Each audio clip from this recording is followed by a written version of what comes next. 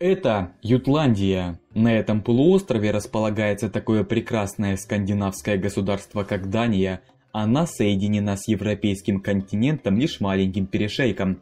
А это Германия. И да, она большая. У нее сильная армия вермахта. Но даже несмотря на это, Дания все равно могла бы защитить себя, учитывая, что у Германии было мало пространства для завоевания полуострова, а следом и остальных островов, расположенных немного восточнее. У Дании была многовековая история морских сражений, и на воде она чувствовала себя как рыба. Но все же, почему Дания так быстро сдалась Германии?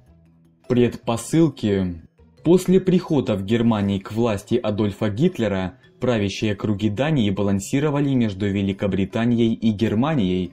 В 1939 году был подписан датско-германский договор о ненападении. Впрочем, многие в Дании понимали его несостоятельность, что подтвердили последующие события.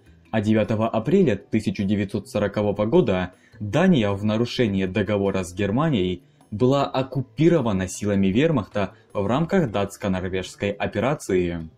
Через час после начала операции правительство и король Дании отдали приказ вооруженным силам не оказывать сопротивления агрессору, и они капитулировали. В целом, операция по оккупации Дании заняла несколько часов. Потери германской армии составили два военнослужащих убитыми и 10 ранеными. Теперь нас интересует следующее. Почему датское государство отказалось защищать свой суверенитет от внешнего агрессора? В начале Второй мировой войны Дания объявила о своем нейтралитете, однако 17 декабря 1939 года в Берлине был утвержден план по захвату страны. 9 апреля 1940 года в ходе операции Везерюбунг немецкие войска за считанные часы оккупировали страну.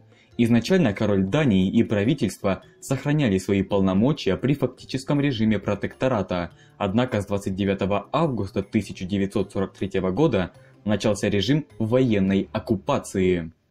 Ну, наверное, Кристиан X пошел бы на войну с Германией, если бы играл в War Thunder, ведь War Thunder это динамичный онлайн-экшен, где ты можешь воевать против кого угодно в любое время, бейся за Сталинград во Второй мировой на Т-34 или доминируя над джунглями Вьетнама на UH-1 Huey. Испытай мощь передовых технологий на Абрамсе, МиГ-21 и Т-80У. В War Thunder доступны театры военных действий по всему миру, от старых российских деревушек до современных погрузочных портов и Аляски. Изучи весь 20 век через переломные события столетия.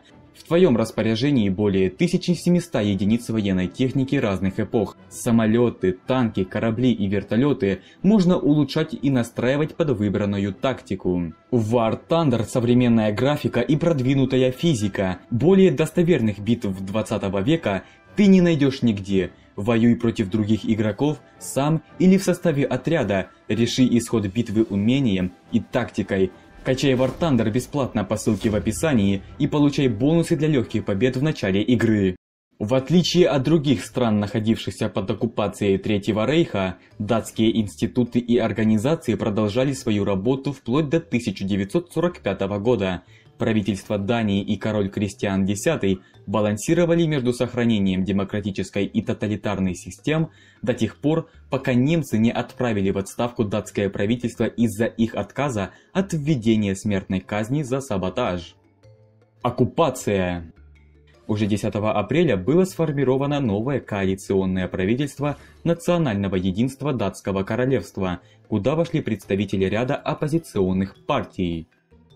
Вооруженные силы Дании были сокращены, а вскоре началось изъятие тяжелого вооружения датской армии в пользу вермахта. 12 апреля датский генерал-лейтенант Беллем Приор объявил о своем выступлении по радио благодарность датской армии за ее поведение во время агрессии. Он сказал, что никто в армии не нарушил своего долга по отношению к королю и родине. Вскоре немцы принудительно установили невыгодный курс датской кроны по отношению к немецкой марке – 208 датских крон за 100 немецких марок.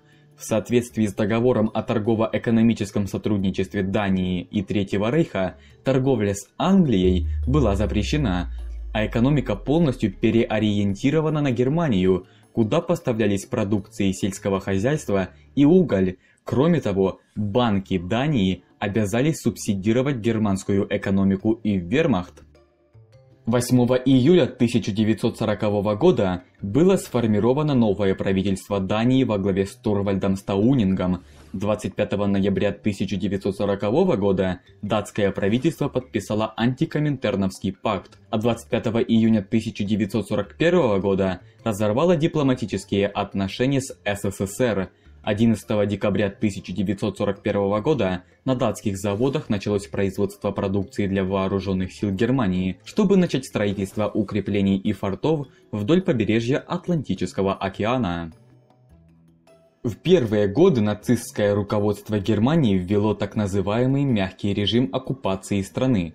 Дания использовалась как витрина миролюбивой политики на оккупированных территориях, формально оставаясь независимым государством Гитлер в отдельном меморандуме гарантировал территориальную целостность и независимость страны.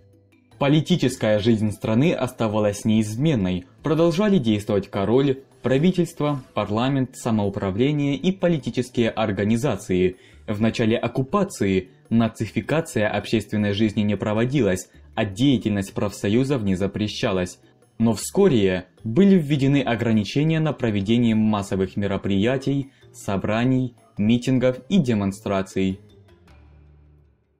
Как я вам ранее сказал, датская экономика начала работать на вермахт и Германию, и все это дошло до того, что к 14 декабря 1940 года внешний долг Германии Национальному банку Дании составил 420 миллионов датских крон, и чтобы ограничить инфляцию, правительство Дании было вынуждено увеличить налоги.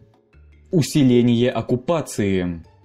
29 августа 1943 года правительство Дании было разогнано, власть в стране перешла к немецкой оккупационной администрации в лице имперских уполномоченных секретарей по Дании. В страну были введены армейские части и подразделения гестапо, начались массовые аресты.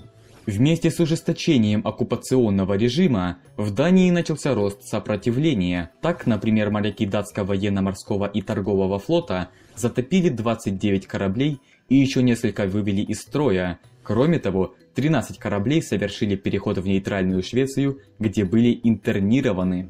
Только прямые расходы Дании на содержание немецкой оккупационной администрации, войск и полиции, строительство дорог и снаряжение для немецкой армии, а также возмещение транспортных расходов оккупантов и обеспечение деятельности предприятий, выполнявших германские заказы, в период с 9 апреля 1940 года по 4 мая 1945 года составили 8 миллиардов 40 миллионов датских крон.